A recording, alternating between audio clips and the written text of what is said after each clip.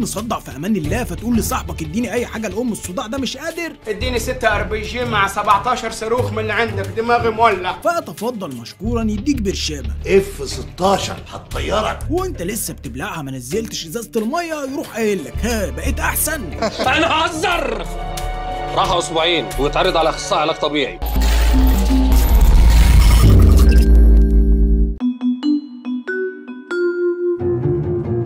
عمرك سألت نفسك قبل ما تاخد الدواء إزاي الدواء ده بيوصل للجزء المصاب ويعالجه؟ يا ابني أنا موظف حكومة. يعني إيه اللي يخلي حباية صداع تطلع لوحدها ناحية المخ؟ ولا حباية الهضم تنزل ناحية المعدة؟ الحباية دي عرفت طريقها إزاي؟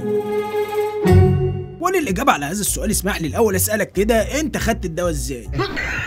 أنا اللي هلحقك هل كان شراب؟ هل كان حقن؟ هل كان مرهم؟ هل كان لبوس؟ إيه علاقة ده باللي هي فيه دلوقتي سؤال قد يبدو صعباني شوية ولكنه هيفرق في الإجابة في صلب وعمق القضية ما هو أصل في الحتة دي تحديدا سينا مش زي سونيا وأحمد مش زي الحاج أحمد خلي بالك أنا مش عايز منك حاجة فمثلا يعني الأدوية اللي بتاخدها عن طريق الفم سواء كان شراب أو قراص بتدخل مباشرة لجهازك الهضمي وبعد ما الجهاز الهضمي يفتتها ويعصرها ويفلترها ويتشربها هيقوم مدخلها للدم. وده طبعا عكس الحقن اللي بتدخل للدم مباشرة. المهم وبغض النظر عن الاختلاف في طرق إدخال الدواء للجسم خلينا نحط إيدينا على كتف الدواء وناخد معاه جولة داخل الجسم عشان نشوف طريقته بالظبط. ولكن الدواء اللي هنمشي معاه هنا هو الدواء اللي بيتاخد عن طريق الاقراص لا برشام لا. لو في بانجو ماشي. في البداية بسم الله الرحمن الرحيم كده بنخبط الحباية من دول وراه بق مية عشان نبلعها. ولو كان دواء شرب طعمه وحش قوي بنخبط وراه كوباية مية على أساس نقلل من طعمه شوية. بس بيجي بقى واحد في الحتة دي ويقول لك لا اوعى تشرب مية بعد الدواء عشان ما تبوظش مفعوله. بس بقى اللي انت ما تعرفوش وهو كمان ما يعرفوش إن المية ملهاش تأثير على فعالية الدواء من الناحية الكيميائية. يا يا معلم. ده أنا كنت مغفل قوي. حتى بعض الدكاترة والصيدلانية بيشيروا لأهمية شرب المية بعد الأدوية عشان الدواء يقدر يشتغل أصلا. ده غير إن السوائل زي المية وغيرها بتكون مفيدة للجسم جدا بالذات في وقت المرض.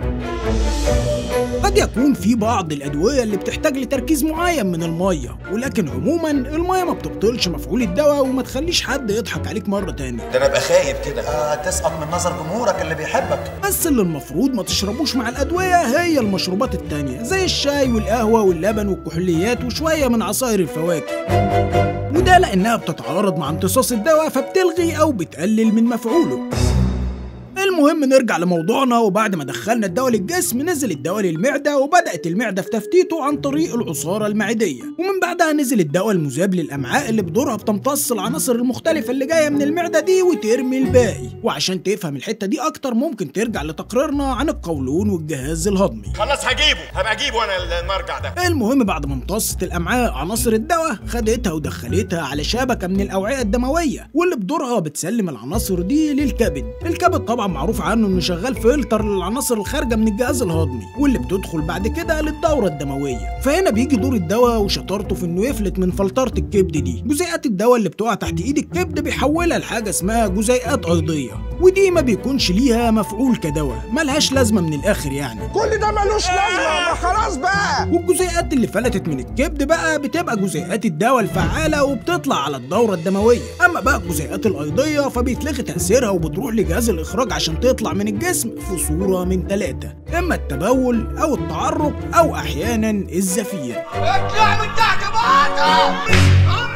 أما الجزيئات الفعالة بقى فبتدخل في الدورة الدموية ودي شبكة من الأوعية الدموية ماسكاك من ساسك لراسك. كل جسمك تقريبا بياخد تغذيته من الدم ولذلك لو كان في وجع وليكن في صباع رجلك وانت رحت واخد مسكن فهنا المسكن بياخد دورته في الجسم بداية من الجهاز الهضمي لحد ما يوصل للكبد ومن الكبد يطلع للدورة الدموية. والدورة الدموية زي ما قلنا شغالة رايح جاي في سلسلة دوارة بمنتهى الحرفية. نظام فندقي خمس نجوم. آه. تيجي بقى جزيئات الدواء وهي ماشية مع الدم في جسمك تقابل عضو أو مجموعة خلايا فيهم مشكلة فتعمل إيه بقى؟ تقوم شابطة فيهم وتقعد تشبك في بعضها لحد ما تمسك كلها في المكان اللي فيه المشكلة ده اللي هو بعد بتاع نص ساعة كده من أخدك للدواء بتكون جزيئاته دي بقت في دمك ووصلت لحد المنطقة اللي فيها المشكلة وفي خلال ساعتين بيوصل مفعول الدواء لأقصى درجاته. طب وبعد الساعتين إيه اللي بيحصل؟ بيبتدي الدم وهو بيتحرك يفك ترابط جزيئات الدواء مع الخلايا المصابة ويروح يلف بيه مرة تانية على باقي الأعضاء بما فيهم الكبد.